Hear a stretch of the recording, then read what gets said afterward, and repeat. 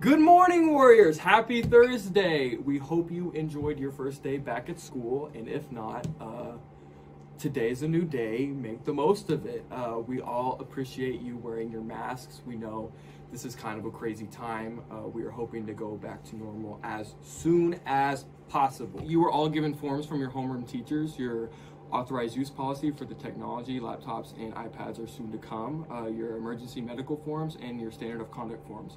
All those need to be signed and turned into the office as soon as possible.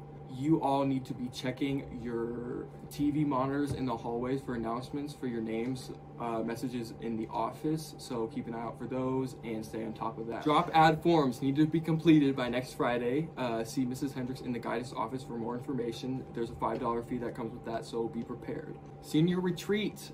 Friday, seniors, be ready. There is a sign up sheet in Miss Sharp's room for the fish jousting, and you need to bring $20. I don't know why.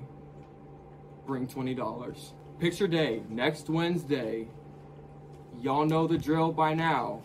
Pictures, smile, look nice, do your hair. Seniors, I think you're doing funny pictures, so prepared to do, be prepared. Warrior Golf, we are undefeated. No, we're not.